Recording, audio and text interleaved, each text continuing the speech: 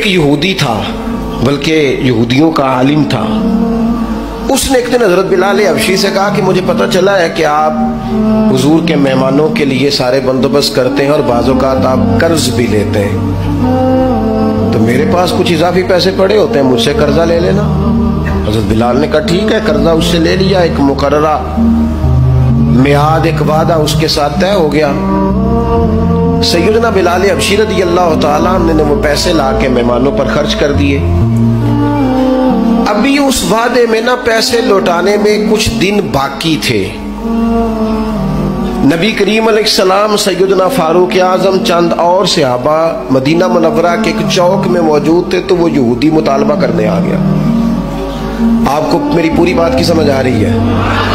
यानी अभी जो माहदा है, जो तयशुदा तारीख है, उसमें दिन बाकी हैं।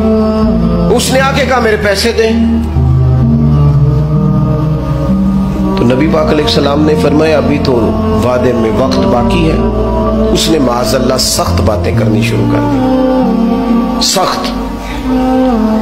अब आपके पास दलील भी हो, आप सच्चे भी हो, वादे में टाइम भी हो तो किसी की सख्त बात सुनी जाती है। और जहाँ भाई बाद आएगा तो देखी जाएगी, तेरी इतनी ज़रूरत। अब जब उसने सख्त बात की तो सैदना उमर फारूक ने तलवार पे हाथ रखा।